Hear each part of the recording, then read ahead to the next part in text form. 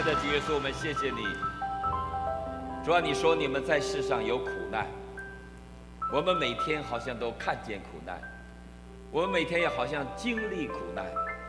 主啊，这苦难如影随形，跟踪着我们。因为当人类犯了罪，苦难就来到人间，罪恶就来到人间。主啊，你说罪因为一人进了世界，死就接着而来。主啊，当我们来到你面前的时候，主，我们知道你的平安不仅赐给我们生活的喜乐、勇气和信心，你也赐给我们永生的盼望和力量。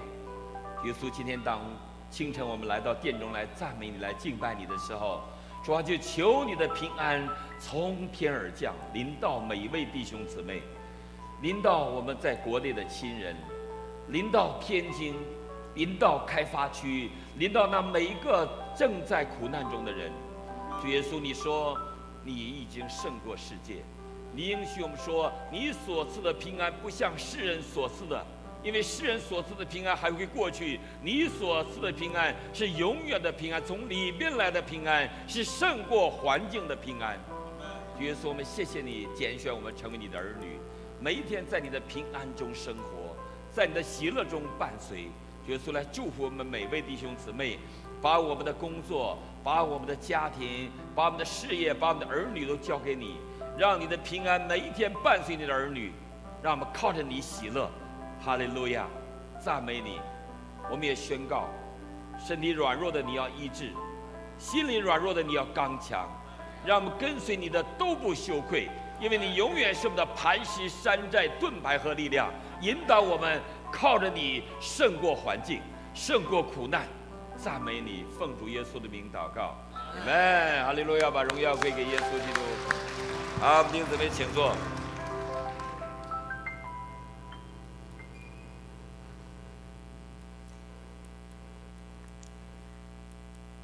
刚才我们读了一段经文，在约翰福音第十四章二十七节。耶稣说：“我留下平安给你们，我将我的平安赐给你们。我所赐的不像世人所赐的，你们心里不要忧愁，也不要胆怯。”那今天牧师讲到的题目是苦难中的平安。那前几天我在上飞机去澳大利亚啊，这个很特别的一个行程。我是十一号上飞机，那中国已经是十二号，八月十二号。我上飞机的时候啊，我就突然有一种特别的不安。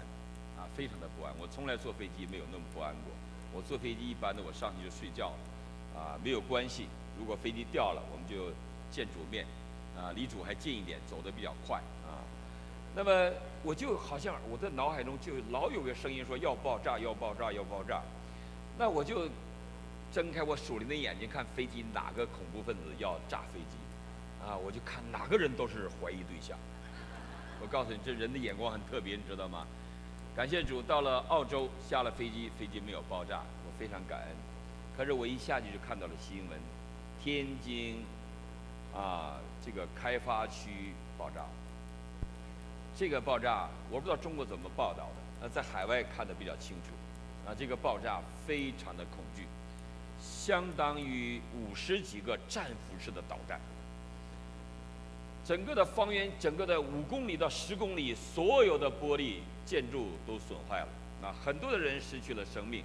我们说最，啊，最难过的就是消防队员，他们进去的时候没有第二次的爆炸，可能是因为他们喷了水，这个化学的物质就第二次的爆炸，啊，第二次的爆炸，好多的消防队员生命失去了，很多都是很年轻的孩子。那么在这个苦难中，我们看到。人每一天可能面对突如其来的灾祸，当然我们知道这个灾祸是人祸，这个不是天灾。这个人祸跟制度有关系，这个人祸跟贪污有关系，这个人祸跟裙带关系有关系。这个天津的爆炸把中国整个的问题都爆炸出来了，啊，爆炸出来了。所以那天在微信上啊看到一个这个呃一个顺口溜写的很有意思。说飞机飞飞着飞着就丢了，轮船开着开着就沉了，房子住着住着塌了，啊，哥们儿喝着喝着就没了，朋友们走着走着就散了，夫妻过着过着就离了，官儿当着当着就抓了，股票买着买着就跌了，钱存着存着就贬了，啊，这个东西你可以无限的写下去。我们看到这世界有多少的不平安啊！所以他说：“生命脆弱，人生无常，淡然面对，且行怎么样？好像这个词儿现在特流行。且行且珍惜呀，珍惜你每一天。我们很多人呐，不会活今天，你知道吗？很多人就活在昨天。那些愁苦的人，那些苦读的人。”那些不饶恕的人，他基本是活在昨天，啊，也有些人活在明天，啊，那些有理想的，啊，有盼望的那些人，他们活在明天，好不好的当然好，但是很重要一点，你是活在今天。你们，上帝给我们每个人三万多天，那，你数一数，你已经过了多少天了？我一数，我还有一万多天，如果三万天的，两万多天都过去了。你想，你要活在昨天。你就充满了苦读，没有快乐感，没有幸福感。你要活在明天，你就活在一个虚空之中。你要活在今天，今天是上帝给你的一天。你们，我们看到这世界充满了不平安，不仅是中国啊。那天我们看到，不仅是那个天津的爆炸，呃，那个东莞那个挖地铁挖挖的楼就挖塌了，那人就掉下去了。而且还有陕西就泥石流滑坡了，好像那一天是个苦难的一天，好多的苦难接踵而来。其实，当我们来到耶稣基督的面前，我们的神早就知道我们的世界上有苦难。啊，在约翰福音，耶稣讲到：“我留下平安给你们。”他说：“我将我的平安赐给你们，我所赐的不像世人所赐的，你们心里不要忧愁。”也不要胆怯，平安其实是一个人生活最高的境界。你们，你想你有钱，如果你每天生活在不平安中，这个钱对你没有意义，对不对？你有家庭，这个家庭每一天都不平安，天天争吵，那个这个家庭对你是什么意义呢？对不对？钱钟书写了一个小说叫《围城》，看过没有？啊，那些没结婚的就着急结婚，啊，想跳进城里去，进了城的人就想跳出去，明白吗？所以你看到这个世界，不管从大的到小的，充满了不平安。可是，在圣经中很尊贵的一个词，一个宝贵的词语，就叫平安，啊，peace。希伯来文叫沙龙，啊，弟兄姊妹对你旁边弟兄姊妹讲沙龙，沙龙就是平安。翻译成中文叫沙龙，沙龙是什么意思呢？它含有稳妥、健康、完美、救恩和安好的意思，安好的意思。这个沙龙是独指从神来的祝福和和伴随。那么这沙龙是指神的良善的同在，全备而完整。因此，这个沙龙的意思已经超过了人类的所谓的那种。安全，啊，幸福。他是因为耶和华的伴随，神的给予。当我们看到那个血漏的妇人来到耶稣的面前，他心里有个信心。他说：“只要我摸到耶稣耶啊耶稣的衣裳的穗子，我的疾病就得到医治。”当他摸到时，耶稣医治了他。耶稣说：“平平安安的去吧，女儿，你的信救了你。”这个平安。带着神的祝福，覆盖着这个女人的全身和全心。那么平安是从神而来。我们首先看第一点啊，平安是从神而来。约翰福音告诉我们说，当耶稣基督，当他被钉在十字架上，他的门徒四散以后，他的门徒最大的一个失败就是他们失去了平安。你们还记得吗？啊，门徒非常的恐惧。在约翰福音的第二十章。记载着门徒们他们在关在一个屋子里边，啊，十九节说那日就是七日的第一日晚上，门徒所在的地方因为怕，因为怕，怕什么呢？怕犹太人，啊，那么门都关了，他们怕，弟兄姊妹，其实我们也怕，人类在生存的过程中都是在惧怕中伴随着走过的。我们怕什么呢？我们怕失去，怕失去。当我们有了财富，我们怕失去财富；当我们有了情感，我们怕失去情感；当我们有了儿女，我们怕失去儿女。你看那多少的孩子啊？今天早上我我睡不着觉，因为时差的关系嘛。啊，其实现在是我们那澳洲的半夜啊，正是睡觉的时候。你知道，我就看到一个美国的一个小男孩，他做一个讲演，很短，呃，在微信中谁传给我的我也忘了。他就讲，其实你们父母根本不了解我们想什么，你们让我们说你们长大会怎么样，你们给我们设计哈佛、耶鲁，可是我们想的是什么呢？跟你们完全，他说你们这大人好愚蠢哦，讲问题。我们想的是什么呢？就是快乐。我这小孩很有意思啊，他想的问题其实是个生命的根本呢。那我们想，你不上哈佛怎么能快乐呢？你不上耶鲁怎么能快乐？你没有钱怎么能快乐呢？你事业没有成功怎么快乐呢？啊，他不这样讲，他说我就是要快乐。快乐好像不在这些的范畴之内，快乐是一种特别的人生命中的特质。这个快乐包含着平安。当那些门徒们惧怕的时候，他们怕什么呢？因为耶稣钉在石架上。当他钉在石架上，那些耶稣的所有的门徒。都要被逼迫，你想是不是啊？你看今天，啊哪一个君王，当他下台了，那他的一伙人就全完了，对不对？政治斗争就是这样嘛，大家都惧怕，所以彼得不敢承认自己是基督的门徒嘛。基教之前，他三次不认主耶稣基督。所以在他们这个惧怕犹太人来抓他们，把他们下到监里的时候。耶稣来到他们中间，你们记住那段经文的，啊，他们那个房子门是关的，耶稣没有敲门，没有推门，耶稣进来了。耶稣怎么进来的？耶稣已经复活了，那个时候物质的墙已经不能挡住耶稣基督了。耶稣走进来对他们说了一句话，什么话？愿你们平安。哇，这句话何等宝贵啊，弟兄姊妹，你看他什么时候听？如果你在你最悲伤的时候，上帝对你说这句话“愿你平安”，你听着感觉是不一样。我记得有一个中国的天主教的一个主教，啊，他叫龚龚品梅，啊，这个人在中国坐了好多年的牢，啊，后来他出国了，出国了，这个教皇接见他。当教皇接见他的时候，好多的大主教都在旁边。教皇就特意把他招到下面，因为他是在苦难中走出来的一个主教。教皇就握着他的手，就说了一句话：“不要怕。”他就哭了。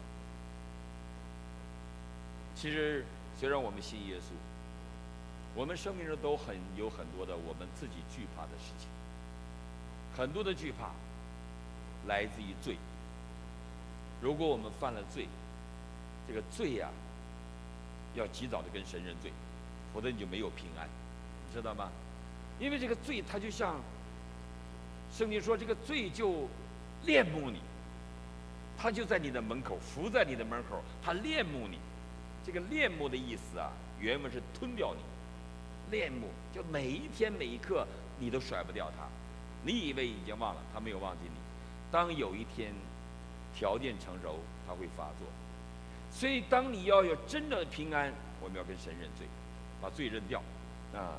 所以那些门徒们，当他们恐惧的时候，耶稣来到他们面前，对他们说：“愿你们平安。”说着这话，就把手和乐旁边指给他们看。门徒看见主，就怎么样？就喜乐了。原来这个平安是从神而来的，啊，从神而来的。耶稣基督。对他的门徒说：“愿你们平安。”然后让他们领受圣灵，说：“父怎么差遣我，我就怎么差遣你们。”那时候还有一个怀疑的人叫多马，大家还记得吗？多马说：“除非我见到他，否则啊，我是不会相信的。除非让我的手伸进他的那个那个枪洞里边、肋骨里边，我才承认他是主。”这时候，耶稣对多马说了，说话了。耶稣告诉多马说：“呃，那是二十六节，过了八天，门徒又在屋里。这八天以后，多马也在那里，门都关了，又关了。耶稣来了，站在他们中间，跟上次一样。那么耶稣这次主要向多马显现。耶稣又说：“愿你们平安。”二十七节就对多马说：“伸过你的指头来，啊，摸我的手，伸出你的手来，探入我的肋旁，不要疑惑，总要信。”多马说：“我的主，我的神。”耶稣说：“你因看见我才信，那没有看见就信的，有福了。”我们今天很多弟兄姊妹，可能你没有看过耶稣，没有见到耶稣亲自向你显现，但是我们就信了。耶稣说：“有福了，有福了。”所以这个平安在我们信中，上帝的平安临到了我们啊，临到了我们。没有一个人他的生命中永远是平安的，如果没有神。你想今天。做官的有平安吗？在中国各个阶层都没有平安。今天做官的有平安吗？据说今天中国的做官的是全世界最高危职业，对不对？真的是高危职业，因为人人都犯了罪。现在正在打这个贪腐，那打吧，打不完的，永远打不完的。我讲过一句著名的话，叫在在粪堆里打苍蝇。打不完的，首先把粪堆清除，清干净了，这个苍蝇就没有了。你想是不是？你家的院子里都是粪，能没苍蝇吗？我们昨天烤肉到了这个切诺，对不对？苍蝇很多，为什么呢？阿克迪亚怎么有苍蝇呢？阿克迪亚房子就贵，没苍蝇房子就贵嘛，知道吗？切诺房子就便宜嘛，旁边都牛圈嘛。那当然苍蝇多呀！你想环境嘛，对不对？今天有钱人，你想有没有平安？今天我不知道美国，在中国做生意的人，或多或少跟官方有关系。如果你金金钱和权力没有结合，你很难赚大钱。啊，刘永年牧师他曾经赚过大钱啊，那个大赌徒，你们看过《温华的春天》？他跟我说：“你在中国，你有多大的关系，赚多大钱。”这是一个规律，那么这些有钱人有平安吗？如果他所依赖的那个官场那个人倒了，他就被抓；薄熙来倒了，就抓了一个叫什么徐明，对不对？周永康倒了，就抓了一个叫什么刘汉，枪毙了。哪一个贪官后边没有商人？哪商人后边没有贪官？有平安吗？你想今天你看周永康有平安吗？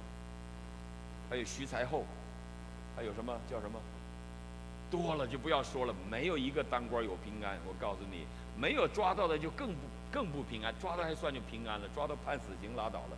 那没抓到，在这天天吓，你知道，没多久吓出病来了。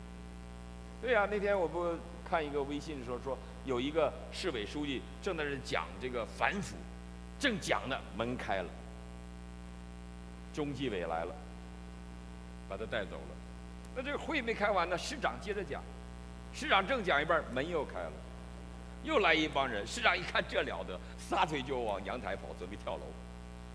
刚要跳，门口来说：“市长别跳，我们不是中纪委的，我们是组织部的，来任命你做市委书记。” 哎呦，不干了，不干了，再也不敢，吓死了！这、这个、这个职业真的没法干，所以看来还是干牧师好啊，你们。没有平安。不管你有金钱、权利，还是你今天，就说我们今天年轻吧，我们身体很好吧，难道你就没有疾病吗？难道就不会遇到问题吗？我跟你讲，有的时候这个疾病突然就来，啊，突然就来。我这次到了这个这个，呃，澳洲，我住在一个弟兄家里边，那么这个弟兄接待美国来的传道人，大多都住在他家。啊，不管是冯秉成牧师啊、刘同苏牧师啊、袁志明牧师啊，都住在他家。当然，我也是，其实一定聚会是安排到他家住，因为他就特别有接待传道的恩赐。我发现他真的是有恩赐，啊，他真的是把传道人照顾得特别特别好。澳洲鲍鱼啊，什么龙虾呀，呃，澳洲鲍鱼。那天我说澳洲鲍鱼四只，他不懂，他说一定要吃四只吗？啊，我说赵本山说的，澳洲鲍鱼四只不差钱。澳洲鲍鱼四只，真的安排好，安排的好，你知道吗？我一下，他知道我身体不好，我一下飞机，立刻带我去看中医，著名的中医，啊，因为前几天我检查我的肾脏不太好，你知道那天医生早上就打电话来，我就那天就没平安了，说你赶紧来医院来看看你的指标，肾脏不对了，你立刻我告诉你，你就快乐就没有了，不要说健康很重要的，我住在他家，他就给我熬中药。啊，我在他们吃了这十几天吃中药，这个给我熬中药，我的西医是不准我吃中药的，我当时反正我就偷偷吃。这个老中医是特别著名一个老中医，他一看了我，他说：“哦，那你这肾脏不是现得的，好像二十多年前就有啊。”哎，我说你怎么知道？他说一看脉象就看得出来。他说不过你现在能活着，你这个很特别，你吃药没有？我说我没有，二十多年没吃药。他说那你怎么能够维持的呢？我说我祷告。啊，他说你你你你你是做什么工作的？我说我是我是做牧师的。啊，他说难怪你能活到今天，特别。那上帝祝福，对不对？我住在这个弟兄家里边，有一天不忙的时候，啊，他们两个给我讲了他们生命的见证。他们是太太是来自于中国大陆川大中文系的，啊，这个。先生来自于，他是一个香港人，他他在缅甸出生的华侨，所以他们生意做得很大。那时候最早就中国最早一批从香港进中国大陆做生意那一批人，做得特别大，赚了很多的钱。香港买了好多的房子，你知道吗？这个澳大利亚也有房子，我住在他们家，他那房子值七百万。这样一个有钱人，应该快乐吗？对不对？夫妻相爱，这个丈夫，我就没有发现世界那么好的男人，那么温柔，对妻子那个好你就不要说了，而且特别爱主。哎呀，我觉得这姐妹很幸福，找这么好的老公。就那天一讲见证，我一听，哇，他们家发生那么大的事情。你知道，每个人信主都好像有个故事，每个人信主好都好像有个故事。他们在他们公司准备上市的时候。他们做了所有的工作，前期的所有的准备，投入了大量的资金，准备把公司上市，股票上市。就在这个时候，他一个朋友撤资了，跟他那个合伙的 partner 把钱拿跑了，公司没有能力再上市。哇，他那个一下子他就病倒了，一个月以后病好了，去找医生看，医生诊断他得了，叫做是叫什么？分裂症，神经分裂症不是忧郁症，他应该进疯人院了，你知道吗？神经分裂症，他控制不住自己。他今天跟我说，其实那时候即使我上不了，上不了这个这个股票，我的钱还是用不完的，我一辈子都用不完。虽然房子呱呱呱被收走了好几个，还是有房子住，可是人承受不了这种失败和背叛，知道吗？你可不行。他说，他就每天就想死，想死。他说，他这个老公呢，晚上睡觉的时候会带一个东西，他打呼噜还是怎么样？他会带一个很特别的东西，就呼呼的有声音响。然后呢，他一睡就从晚上就睡到天亮，不会不会醒的，就基本就不行了。他说那天晚上两点钟，她跳楼，你看很特别。她老公那天醒了，从来都不醒的。她老公一睁开眼睛，就发现太太穿着干干净净的。漂漂亮亮的，就这样飘着就去阳台了，吓人呐！她老公就奇怪，哎，她怎么就上阳台了呢？就把那东西扯下来，就一下就跑过去了。他太太的一条腿已经伸下去了，他一下就把他抱住他们信主了，去了教会，信了耶稣，上帝开始改变。他他吃了十几年的忧忧郁症的药，当然现在已经十几年不吃了。啊，现在神学院毕业了，这个姐妹做了传道人，建立了个教会。这个教会呢，还不到四十个人，成立不到一个月就把我请去了。我也不知道为什么我就去澳洲了，因为澳洲纽西兰请我多少年我都去不了，因为教会建堂也忙。啊，因为我这个这个我的这个啊呃师母的姐夫。心脏病手术，我也想去看一看他。正好有路教会请我，那我就赶紧去了。哇，这个姐妹生命改变如此之大，弟兄姊妹，平安只有从神而来。如果我们没有神，我们每一天都面对危险，啊，面对危险。我们看到主耶稣，当他找到他的门徒的时候，他说了一句著名的话：“愿你们平安。”爱我们的主，多么希望神的儿女是平安的，多么希望我们平安。我们的主希望我们平安，我们的亲人何等的希望我们平安。每当打电话给家里的时候，的父亲母亲都会问：“你们好吗？啊，孩子好吗？家庭好吗？教会好吗？”问很多很多，都是希望我们有平安，有平安。正如一个祷告文说的：“我恐惧的时候，主啊。”你会给我勇气，我沮丧失望的时候，主啊，你会给我信心。主啊，求你让我经历你，求你明亮我的眼目，指点我的心，归入你的怀中。主啊，求你让我知道你，你是我的避难所，是我的力量，是我患难中随时的帮助。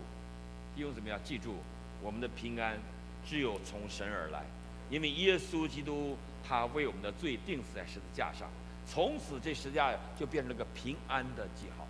你们，你看今天这十字架多重要！中国大陆现在不断的拆十字架，他们就是要把平安拆掉，就是不要平安。你看从拆十字架开始，中国有多少的灾祸？嗯，十字架是平安。当一个人看到十字架，他就看到了上帝的祝福。当一个有病的人，他看到十字架，他就到了医院，他就有了平安。你们，我八九年的时候，那时候绝食休克的时候，觉得死了，因为没有休克的经验，不知道休克，以为就是死了呢。突然救护车啊啊啊进了广场，哎呦，一看那救护车，哇，就昏过去了，就喜乐了，因为不怕了，你知道吗？对不对？救护车来了，救护车上面一个大大的十字架，所以看到十字架。我们就是看到了平安，所以我觉得拆十字架的人呐，他们要悔改，啊，要悔改，因为十字架怎么能拆得掉呢？信仰怎么能从心里拆除呢？拆不除的，弟兄姊妹。我们感应主第二点，我们来看平安，啊，我们来看第二点，平安是从相信而来，啊，平安从相信而来。希伯来书十一章。第六节说：“人非有信，就不能得神的喜悦，因为到神面前来的人，必须信有神，且信他赏赐那寻求他的人，啊，寻求他的人。所以，一个人如果对神没有全然的相信，他的平安就不会临到他。一个人对神有全然的相信，我们才能够知道我们的生命中有平安。”啊，我们生命中有平安，因为感谢主，当我们看到一个信神的人，他的生命不是随着环境的改变而改变，他的信心不是随着环境的改变而改变。如果你没有信神，你的信心是有限的，因为你就根据环境，今天环境好我们就喜乐，环境不好我们就忧愁，对不对？那忧愁的多了，忧愁的多了。中国人说，人生不如意的事情什么呀？十之八九，大概在你的七十年、八十年的生命中，你大概大多数日子是你不喜乐的、不平安的、忧愁的、担心的。那我们担心什么呢？我们担心的东西太多，大到世界和平，小到柴米油盐，我们都担心。啊，可是耶稣说不要忧虑，啊，不要忧虑。在马太福音第六章，耶稣告诉我们说，不要为生命忧虑，吃什么？穿什么？不要为身体忧虑。穿什么？耶稣说：“生命胜于饮食。”耶稣说：“生命胜于饮食。”他是这么说的：“生命不胜于饮食吗？身体不胜于医生吗？你看天上的飞鸟，不种也不收，也不积蓄在仓里。你们的天赋，况且养活它，何况是你们呢？那我们是谁呢？”我们是神在十字架上用他的宝血买赎回来的儿女，因此呢，你一定要记住你的身份，你是耶稣用宝血换回来的，是耶稣在十字架的苦难中换回来的。我们人生是有苦难，苦难又怎么样呢？哪个人是没有经历苦难的？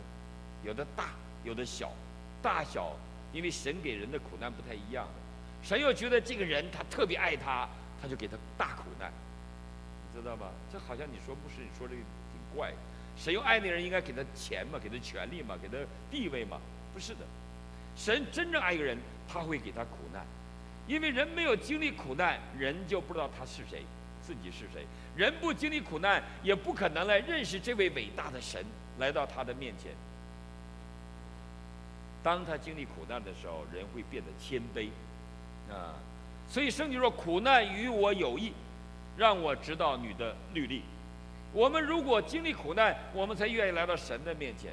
我是经历苦难认识耶稣的，我也是经历苦难才开始读神的话的。我在经历苦难时候才说的，神的话是极大的安慰。我读神的话就喜乐，我读世界的书我都是忧愁，对不对？你在医院里边，医生说你活不几天了，什么书你能读得下去？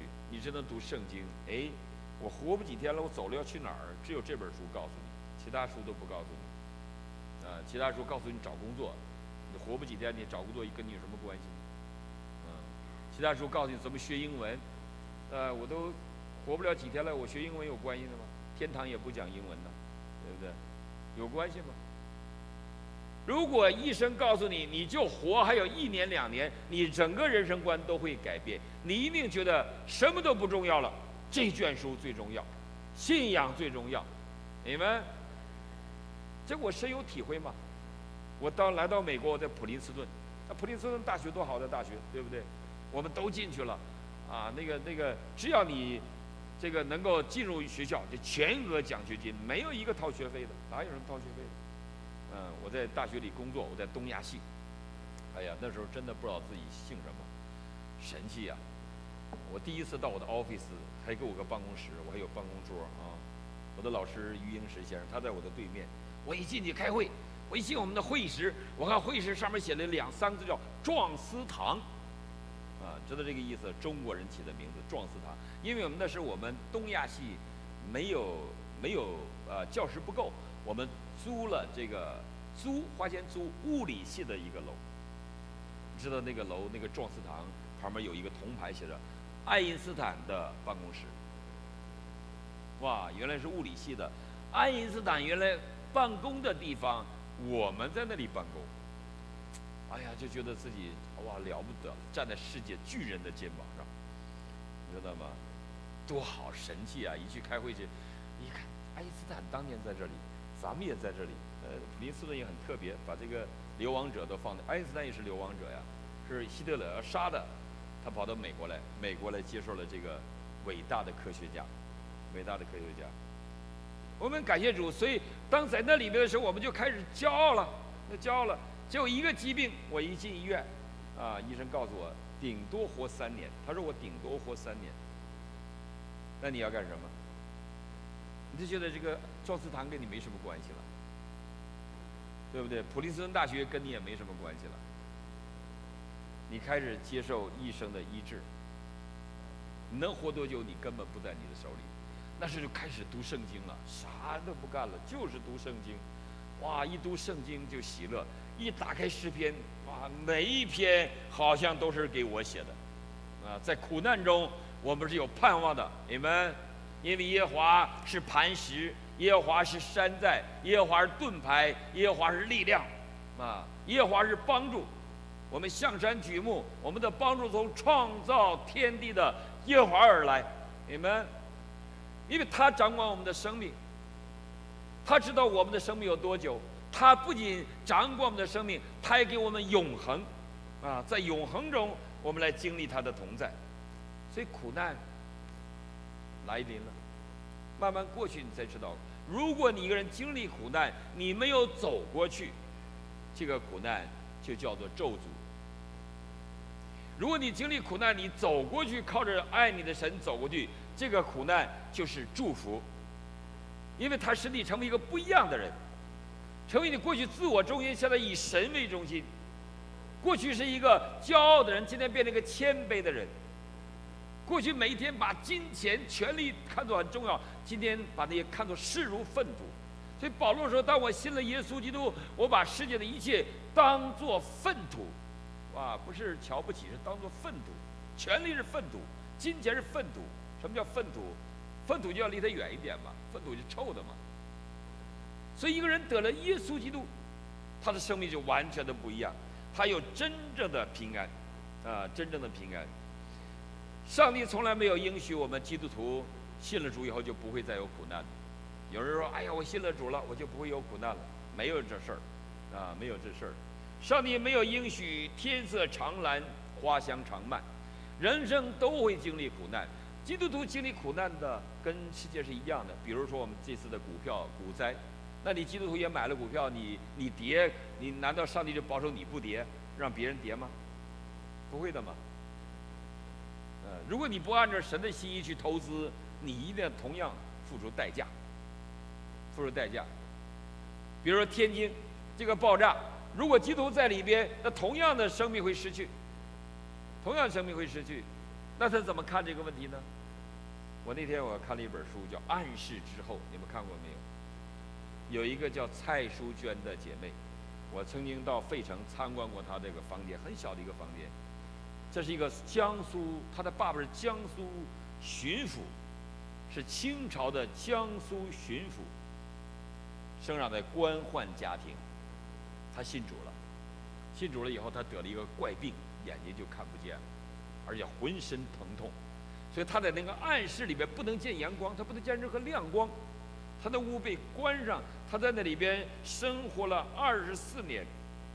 这二十四年里边，他什么都看不见，但是他的生命影响了一代人，啊，影响了一代人。他没有灰心丧气，他更加的爱主。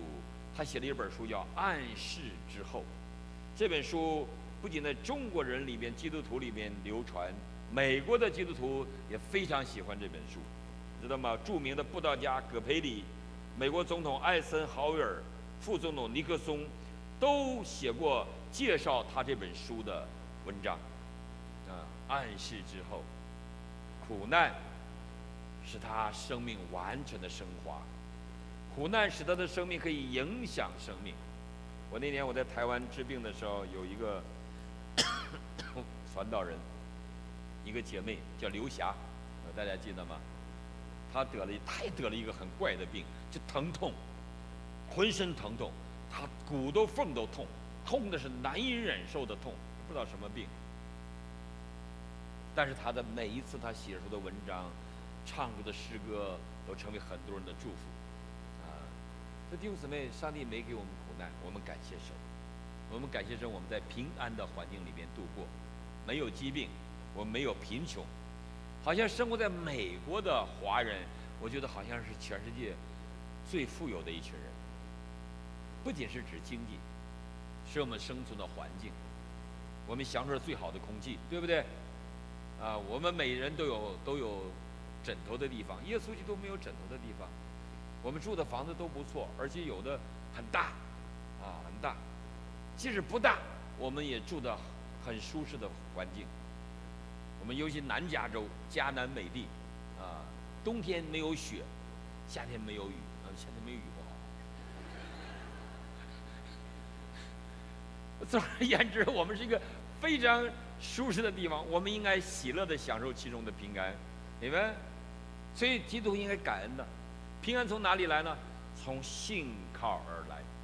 耶稣说：“犯劳苦担重担的，可以来到我的里边，啊。”在我里边得以安息，我心里柔和谦卑。你们当负我的恶，学我的样式，这样你们心里就必得安息。啊，在马太福音第十一章，劳苦担重担的，我们就该放下重担，学习相信，学习交托，交托。一个人，当你把这生命交托给主，你就有真正的平安和喜乐，真正平安和喜乐。我们也感谢主。所以弟兄姊妹要学习把重担交给神。当你遇到难处，你就祷告，啊，祷告，把你的重担交给神，交给神，因为神顾念我们。耶稣基督他爱他的儿女们，他愿意他儿女们都有平安与喜乐，所以他把他的生命在十字架上为我们舍了，就是让我们今天有从他来的平安喜乐。我们在今天一个物质化的时代里边。我们特别需要神的祝福，啊，需要政府，神的同在，与我们同在。我们第三点，现在我们看到平安就是交托啊，交托，从交托而来。保罗在腓立比书四章六到七节说：“应当一无挂虑，啊，应当一无挂虑。凡事，只要凡事借着祷告、祈求和感谢，将你们所要的告诉神，神所赐出人意外的平安，必在基督耶稣里保守你们的。”心怀意念，他告诉义无挂虑。可是我们挂虑很多。他告诉我们要学习交托，可是我们都不不舍得交托。很多人信了主了以后，他所有的担子还自己背。刚才耶稣说：“劳苦担重的来到我的面前，我必使你们得以安息。”我们哪个人不是劳苦担重担呢？我们都是担重担的人呐，尤其做父母的。啊，做家长的，我们这第一代的移民来到一个新的国家，我们面对很多很多的未知的压力。嗯，我们要解决身份。我我相信在座的我们很多身份还没有解决的，我们就愁啊。哎呀，没有身份不要愁，不重要。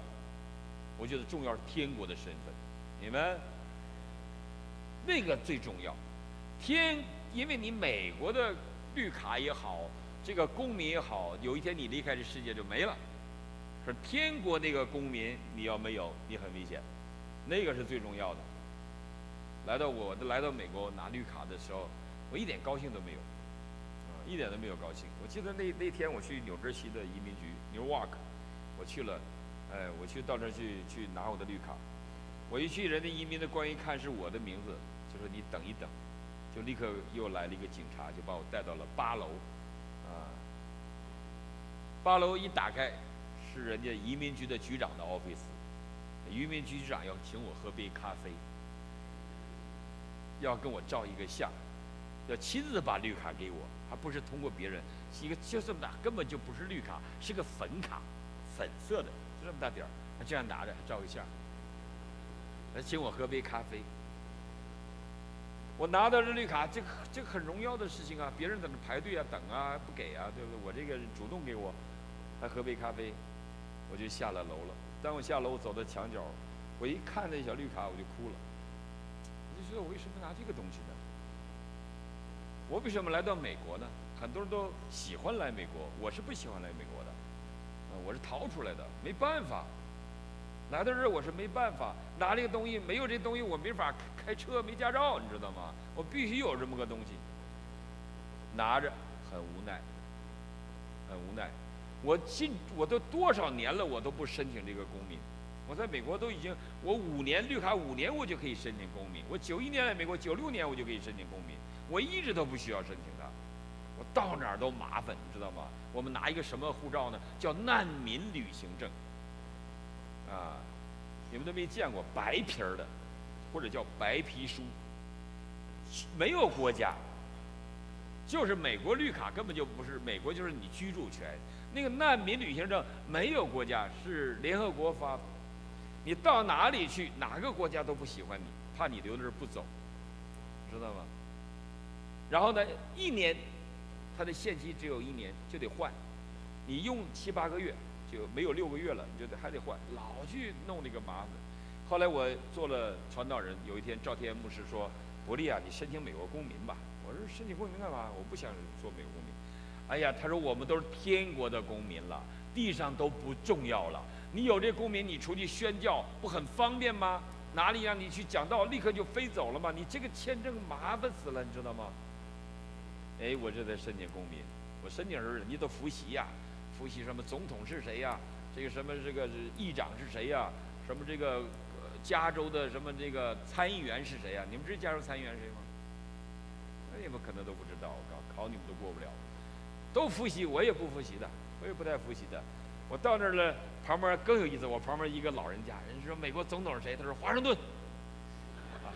那个那个后来那个那个移民官看看，他说哦，你知道，那是第一任总统，现在的总统。他说：“现在总统不什么顿，我也就忘了。后来说哦，克林顿，什么顿？问我的时候我还没等答呢。他说：你知道了，你知道了，就往下画。知道了，知道，pass。，congratulation，就这么简单，还让我写两句英文，啊，英文写的太简单了。我虽然英文不好，我也会写。My car is blue。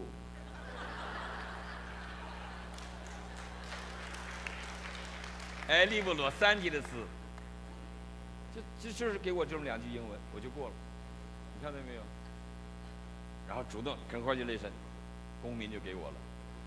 我跟你讲，弟兄姊妹，如果你拿到地上的公民那么喜悦，你要相信有一天在天上的公民那个身份，你该何等的喜悦。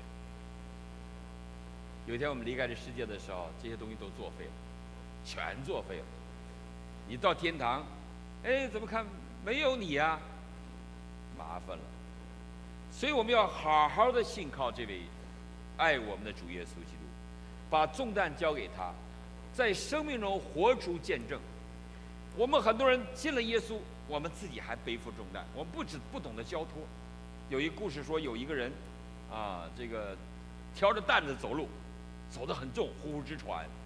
过了一个马车，一看他停，就停下来了，说：“哎。”你就把担子放在我车上吧，坐在我车上，我载你一段儿，啊，他就上车了。上车了，赶车的人还听到呼呼的喘息声。他一回头，这个人虽然坐在车上，担子还挑在肩上。你觉得这人好愚蠢？可是这人就是我们呢。我们不信主了吗？我们不有耶稣基督吗？我们不是基督徒吗？可是我们还自己包背着担子，我们就觉得好像我们信了耶稣，把耶稣一放那就没什么事儿，没他什么事儿了。什么还是我们自己来？对不对？我们的金钱我们自己管理，我们的夫妻关系我们自己来管理，我们的儿女我们按照我们的心意来教导。我们从来没有想到说我们要交托，凡事交托都交给耶稣基督。所以保罗说你要义无挂虑，凡是借着祷告、祈求和感谢。你看祷告，那我们遇到难处怎么办呢？首先保罗教导我们祷告，祷告，遇到任何事情都祷告。祷告其实很简单，没那么复杂的，就是把你所需要的告诉神，你们把你的忧虑告诉神，把你的重担告诉神，他就赐给你平安呢。你看我当年有病的时候，我缺个肾，我就天天祷告，主啊给我个肾，主啊给我个肾，这这祷告嘛。我那时候就读了一段经文，我就觉得我什么都跟他说。后来有位老基督徒说：“你这不合神的心意，你不能这么祷告，你太自私。你就是说主啊给我肾，就说主啊死个人，不能这么祷告。”那我说我怎么祷告？他说你要求主更好的医治你的肾，咱们不要别人的肾，就要自己的肾，原装的，求他医治你。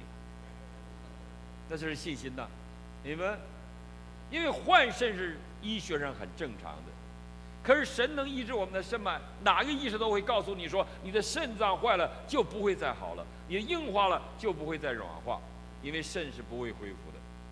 我告诉你，我就恢复了，你们，感谢主。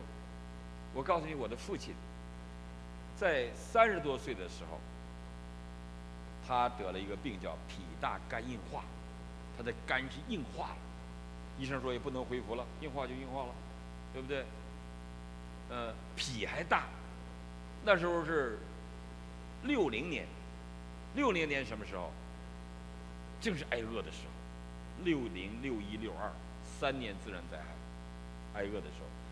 肝是需要营养的，都吃不饱饭，然后到北京做手术。我爸爸给我讲一个他们的笑话到北京了，他跟县委书记两个领导一起去北京，县委书记陪着我爸去北京。啊，除了一个是老同志、老战友，还有一个没去过北京，一个小县城能到北京看看，借着老张生病，哇，这是个机会，你知道吧？人家公家给报销机票，啊，火车票，到了北京。两个人就就奔北京饭店去了，看到那个大饭店说像北京饭店的，从来没进过。说到北京就应该住北京饭店嘛，不懂啊，那个门是钻门，钻了好久都没进去，进去出来，进去出来，他两个说这怎么搞？这门怎么进不去呢？是北京饭店，那不是轻易进的。后来看着别人进，跟着别人，哎，终于进去了。进去了，到了餐厅，没有钱嘛？你看，哇，这东西这么贵，很贵。那外宾吃饭，哇，看到一个外宾吃完走了，扔了半桌饭，他俩坐在那儿了，这不能浪费呀。毛利说贪污浪费极大的犯罪，拿着鸡腿就啃，就吃，然后一边回来还给县委领导做报告说，我们到这儿为咱们省了多少钱，知道吗？每天到北京饭店去吃，但是没有花过一分钱，丢人不丢人？你说那一代那一代干部，真的清贫呐，所以他们今天看到今天的腐败，他们能高兴吗？天下他们打下来的那么清贫，然后做了手术，脾大，一个苏联大夫给我爹做的手术，脾全摘除，切掉，肝切掉四分之一，医生说你顶多活五年，你还得营养够，你还不能工作，还得养，你顶多活五年。他说对了，那个同期手术的六个人。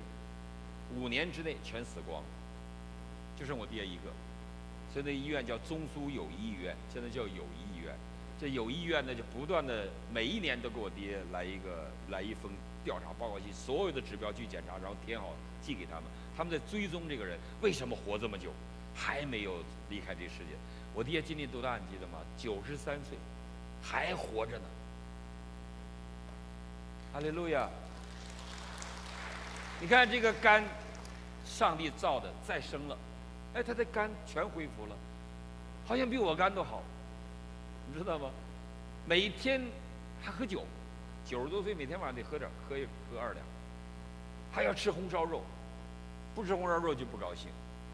我那天打电话我说最近怎么样也很好，他说全家都吃不过我一个，我吃饭能吃一二大碗，他们就这么一小碗半碗。全家的煮的饭我能吃一半，而每天还得吃红烧肉。我说你少吃点肉，都这么大年纪了，多吃点青菜。他说什么？我都九十三了，我为什么要少吃点肉呢？哎，我觉得人家到九十多岁吃什么就自由了。咱们今天吃什么胆固醇高，人家胆固醇不高啊，啊，为什么人不吃呢？当然吃啊。那天给我打电话，有天打电话，他说这个打这个我给他打电话，他说你你这两天忙什么呢？我说我刚从医院回来，啊什么病？我说没病，洗洗牙齿。洗什么牙齿啊？我都九十多岁了，一辈子没洗过牙，一个牙都没掉。那你这个好好牙都给医生都给你抠松了，你去干嘛去？你就把我训一通，你知道吗？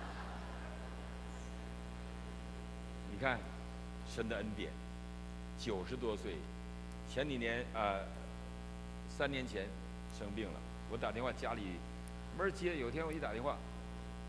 终于家里有人接了，我说，他说啊，爹病了，这个我说让他住院，他说不住了，我说怎么不住呢？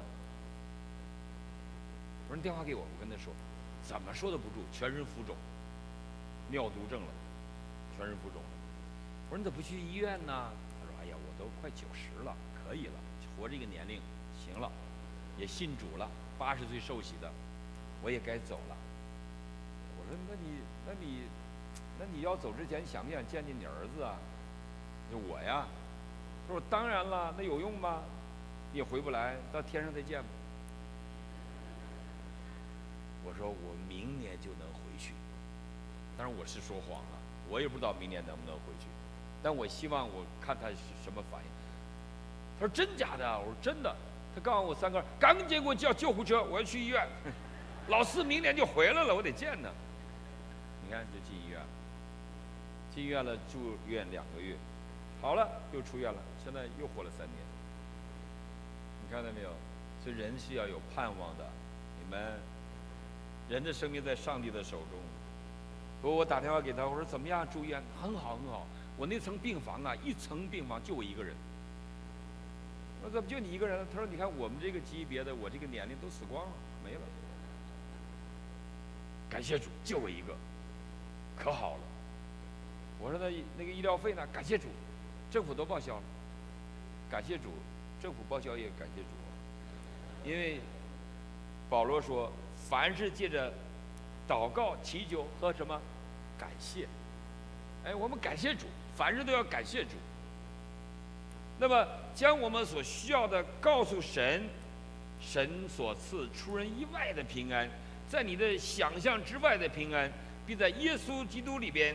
保守你的心怀意念，在今天一个财富急剧增长的一个时代，物质极大丰富的时代，人的恐惧却越来越多，人的恐惧没有减少，人的危险也越来越大。所以我们该如何来面对这个世界呢？我们需要来到主耶稣的面前，把自己交托给神，否则我们的生命每一天面对着危险和试探。在九啊二零零九年，美国金融危机，那个时候好多的亿万富翁死掉自杀，其中两个著名的亿万富翁。二零零九年自杀，你看，一个叫做史蒂文·古德，美国地产大亨，他有多少钱呢？九十五亿。在二零零九年一一月五号早晨，他在一片树林里开枪自杀身亡。他当年五十二岁。还有一个是德国的亿万富翁，叫阿道夫·默尔克。他因为自己的这个商业帝国受损，自杀。他当时在全球富翁排行榜列九十四位，在德国列第五位，自杀，自杀率相当高。在日本，啊，这个国家是个福利几乎最好的国家，最好的国家，每一年自杀达到三万到四万人。平均每一天约有一百个人自杀，所以你看到一个现代的社会给人的压力。我们感谢主，我们中国人比较好，有一句话叫“好死不如赖活着”，这就是我们中国的处世哲学，对不对？所以感谢主，当我们读这段经文的时候，我们心里何等的喜乐，因为我们有这位神，他的应许何等的宝贵。所以保罗说：“凡是。”借着祷告、祈求和感谢，将你需要的告诉神。所以我们要学习交托，我们才能够不忧虑。弟兄姊妹，忧虑是不解决问题的。我们要把这个我们的生命交给主，也把我们的家庭交给主，甚至把你所爱的这个国家交给主。我相信神要通过苦难改变中国，你们通过苦难改变人心。通过苦难改变我们自己，苦难并不是坏事，所以在苦难中，如果我们胜过苦难，我们就有了平安。所以弟兄姊妹，刚才我们唱了一首诗歌，说在啊世上我们有苦难，但是基督里边我们有平安。我们在为天津祷告的时候，我们也为我们自己祷告，希望我们成为一个喜乐的人。啊，希望我们能够活出平安的生命，让我们能够用基督的爱来影响每个没有平安的人。今天，当你听了这位信息，你听了神的话，神的平安要临到你。不管你你的身份，还是你的工作，还是你的婚姻家庭，还是你的儿女，还是你前面所未知的道路，主都知道，主都保守。你们，这样我们学习交托。义无挂虑，凡人皆祷告祈求，把我们需要的告诉耶稣基督，神就赐给我们平安，在基督里边保守我们的心怀意念。哈利路亚！我们来请敬拜团来唱这首诗歌。耶稣给我平安，我很喜欢这首诗歌，有时候我也会唱，因为有的时候当我们面对压力重担的时候，我们需要神的保守，需要神的同在。我们一起来起立。来唱首诗歌，阿利路亚。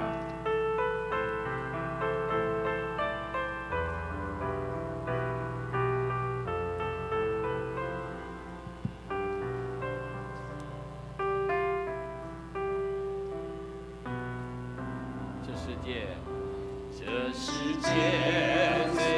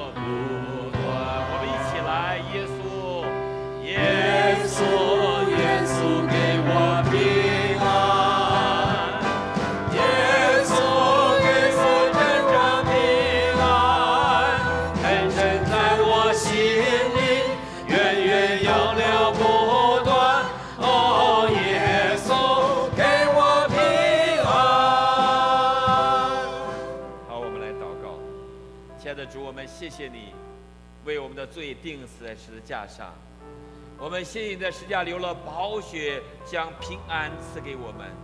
就像圣经所说的：“因你的鞭伤，我们得医治；因你的刑罚，我们得平安。”主啊，让这个平安从天而降，临到我们的生命，临到我们的家庭，临到我们的儿女，临到我们前面的道路。哈利路亚！求你来祝福我们每位弟兄姊妹，每一天在你的平安中来生活，靠着你喜乐。耶稣，我们也把每个还没有信靠你的朋友交给你，让今天你的平安就临到他们，赐给他们属天的祝福。哈利路亚！我们这里没有没信主的弟兄姊妹朋友们，如果你今天说主耶稣，我要接受你做我的救主，我要接受你的平安与我同在，你举起手，为你祷告。有没有这样的朋友？感谢主，还有没有？有一位弟兄，还有一位弟兄，还有没有？赞美耶稣，还有没有？感谢主。圣经说，若有？人在基督里，他就是新造的人，旧事已过，都变成新的了。还有没有？今天愿意接受耶稣基督，让他的平安临到你？还有一位小姐妹，感谢主。还有没有？还有一位弟兄，还有没有？哈利路亚。好，我们再唱诗歌，我请你们到前面来。今天接受耶稣基督的，到前面来为你们做一个祷告。耶稣，耶稣给你平，到前面来。耶稣给你真正平安，还有没有？深深在你心里，源远永流不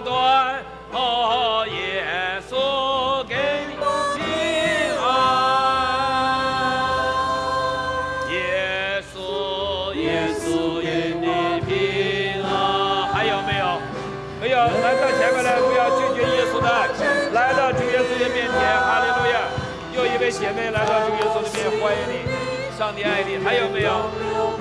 还有哪位在今天你愿接受耶稣做你的救主，就来到主耶稣的面前。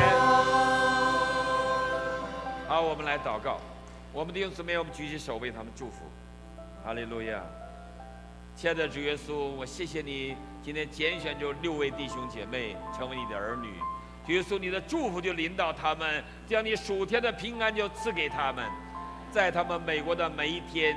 都深深的经历你的同在，经历你的能力，经历你的引导，经历你的得胜。哈利路亚！求你的宝血洗净他们的罪，圣灵来充满他们，引导他们，让他们一生一世因着耶华欢呼喜乐，一生一世跟随主耶稣，靠着主耶稣得胜，胜过苦难，胜过环境，胜过艰难，主必引导他们得胜。感谢祷告，奉主耶稣基督宝贵的名，阿门，哈利路亚！